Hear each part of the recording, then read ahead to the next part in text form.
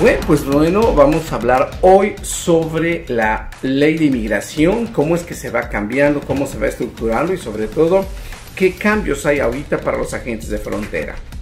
Bien, pues hay una nueva realidad que no se esperaba del todo el gobierno canadiense y tuvo que instaurar una ley que se le llama la Ley de Protección Civil, así como la Ley de Cuarentena. Todo esto para proteger a los canadienses.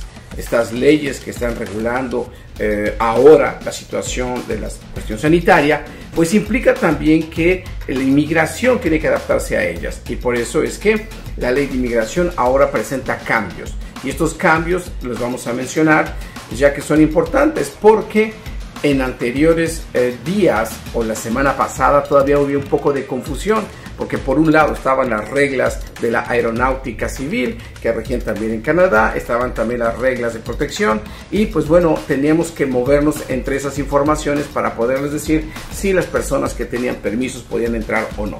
Pero bueno, con esta nueva eh, ajuste que se está haciendo y las reglas que se están presentando, pues bueno, queda más claro.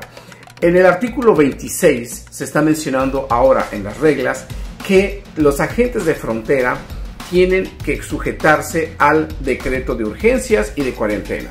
Asimismo, en el artículo 26.1 se está presentando que ahora los agentes de frontera pueden emitir ya permisos de trabajo, pueden tratar las renovaciones, también de estudio, también las renovaciones, así como eh, las condiciones de estancia temporal, pueden emitir los permisos o los restablecimientos de estatuto. Es decir, casi todos los permisos que se hacen en el interior se pueden hacer ahora desde el exterior.